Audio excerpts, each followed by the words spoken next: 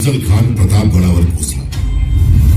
दगलबाज अफजल खानाने कप्ताने शिवाच्या पाठीवर वार केला परंतु राजांच्या चिलखताने तो वार अलगत झेलला. आणि क्षणात विजेच्या वेगाने शिवाजी राजांनी वाघनखांनी खानाचा कोथळा बाहेर काढला.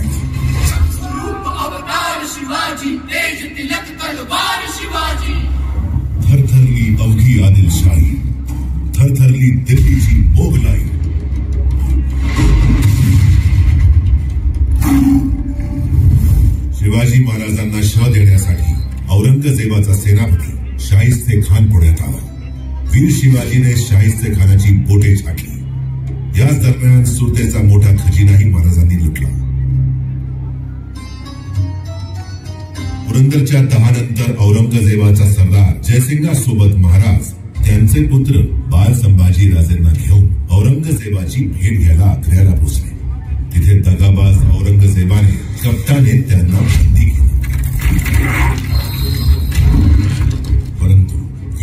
રોકું શક્તિ ना भिंती ધારા મહારાજાની ચતુરાઈને ઘેલા તિથુન ઉબાર આગ્રા હું સુટકા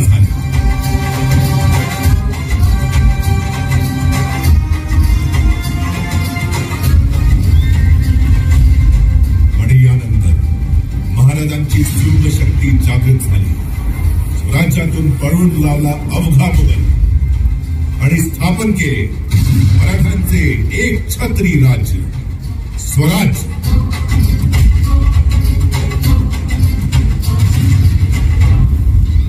ज्यासाठी प्राणांची आहुती दिली शिवाकाशी जीवा महाले कान्होजी आंग्रे तानाजी मालुसरे आणि बाजी प्रभू देशपांडे यासारख्या अगणित मावळ्यांना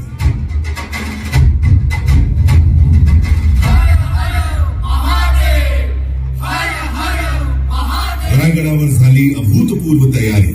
आणि अखेर तो शुभ समय आला. वैदिक मंत्रांच्या घोषात राज्याभिषेक सोहळा संपन्न झाला.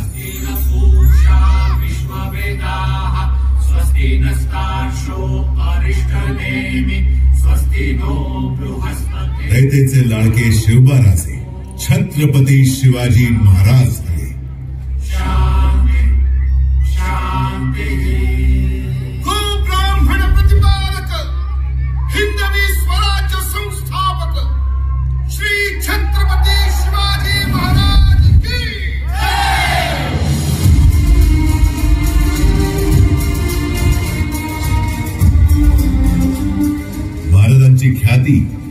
सर्व देशांना पसरत होती भरत होती. त्यांच्या तेजाचा सूर्य भारताच्या नवांगणात तळपत होता.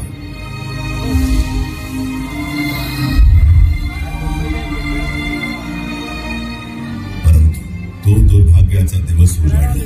सन सोळाशे ऐंशी दिनांक तीन एप्रिल. हिंदवी स्वराज्याचा हा तळपता तारा अस्त पाहला छत्रपती शिवाजी महाराजांनी आपल्या नश्वर देहाचा त्याग केला. परंतु करोडो भारतीयांच्या हृदयात ते आजही जिवंत आहेत आणि अनंत काळ त्यांचं हे स्थान आढळ राहील ध्रुव ताऱ्याप्रमाणे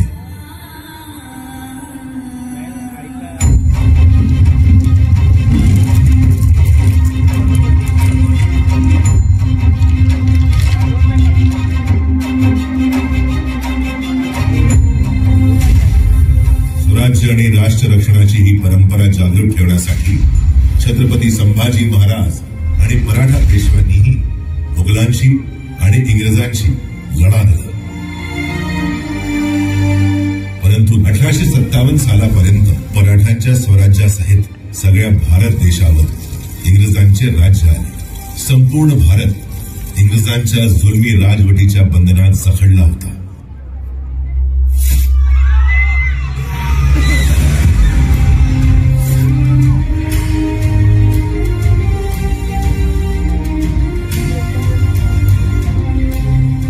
भारताच्या स्वातंत्र्य आंदोलनाची सिंह गर्जना केली. बाळ गंगाधर टिळकांनी. स्वराज्य हा माझा जन्मसिद्ध हक्क आहे. आणि तो मी मिळवणारच. या सिंह गर्जनेने केवळ महाराष्ट्रातच नव्हे तर संपूर्ण भारताच्या स्वातंत्र्य आंदोलनात एक नवा श्वास फुंकला लोकमान्यांनी पेटवलेल्या स्वराज्याच्या अग्निकुंडात वासुदेव बळवंत फडके विनायक दामोदर सावरकर चाफेकर बंधू सारख्या स्वातंत्र्य सैनिकांनी सहभागी होऊन हे अग्निकुंड धगधगते ठेवले.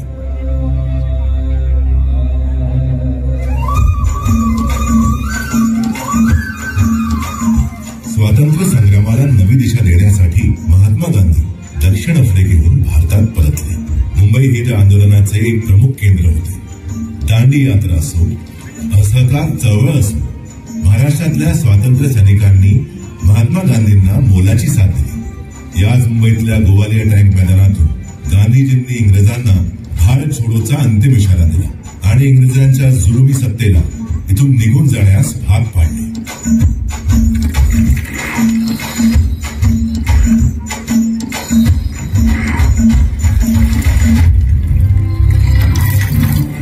इंग्रजांनी चुभारलेली गेटवे ऑफ इंडियाची वास गुलाबीच्या बेड्यांनी सखडलेल्या त्याच्या भिंती वाट पाहत होत्या इंग्रजी सत्तेच्या जुलमी राजवटीचा अंत होण्याची मोकळा श्वास घेण्याची.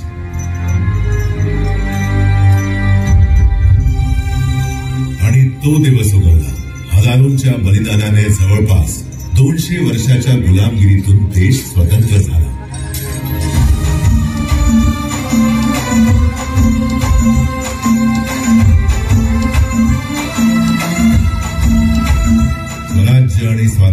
स्वातंत्र्याच्या किरणांनी उजळले होते.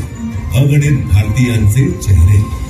आणि त्याच्या गालांवर स्वातंत्र्याचे आनंदाश्रू पाहत होते करोडो भारतीय.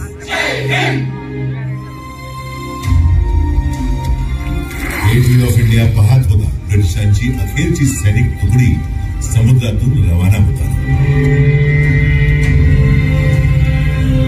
स्वातंत्र्याचं कालचक्र भारतात पुन्हा गतिमान झालं. एक नवा सूर्य भारताच्या क्षितिजावर तळपू लागला. स्वतंत्र भारताचे भविष्य उज्ज्वल करण्यासाठी. कायद्याचे विद्वान अभ्यासक बाबासाहेब आंबेडकर भारतीय राज्यघटनेचे शिल्पकार ठरले.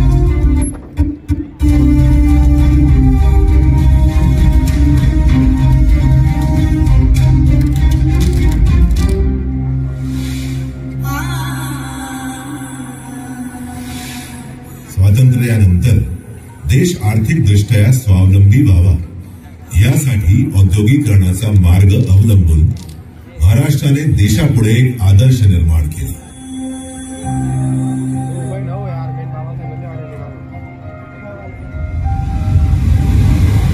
मुंबई जिला फिरंग्यांनी बॉम्बे म्हटलं. तिथे पहिली ट्रेन धावली. पहिली फ़िल्म बनली. ती मुंबई स्वातंत्र्यानंतर अधिकच उजळू लागली. असंख्य भारतीयांच्या स्वप्नांची नगरी झाली मुंबई. आज भारताच्या आर्थिक राजधानीचे शहर आहे मुंबई.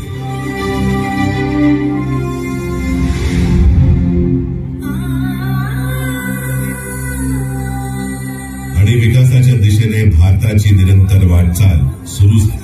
शिक्षण आरोग्य संरक्षण सामाजिक उत्थान महिला सक्षमीकरण या सर्व क्षेत्रात प्रगती करत गेल्या पंच्याहत्तर वर्षात भारताने निर्माण केली आहे आपली एक वैश्विक ओळख.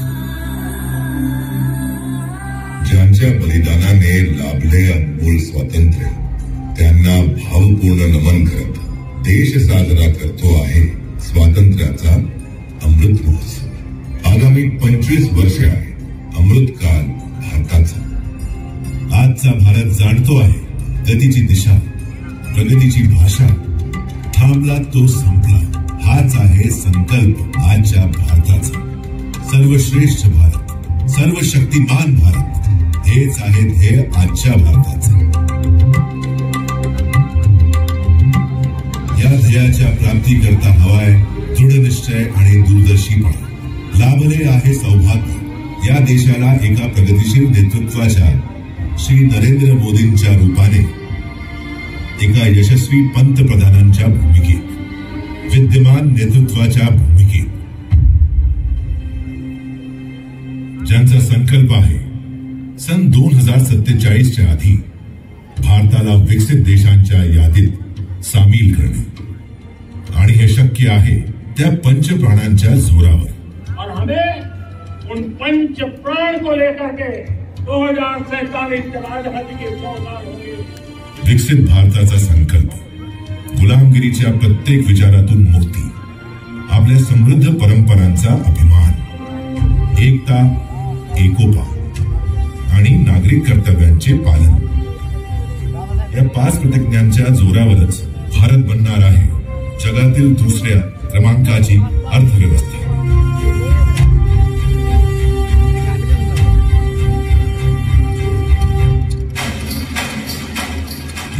कथेला इथेच.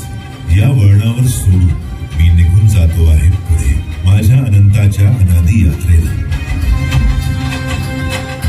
मी पुन्हा येईल जेव्हा भारत साजरा करीत असेल आपला शतक महोत्सव